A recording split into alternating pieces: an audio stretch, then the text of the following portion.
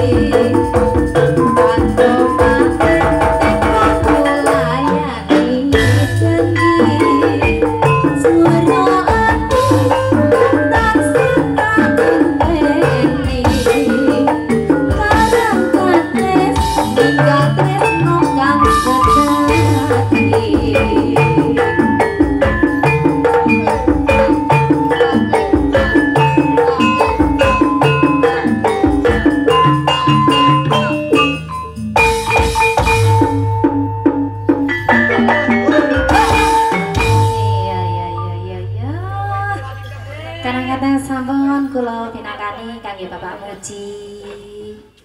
Kali Bapak Yaun nggih sugeng rawuh kemawon.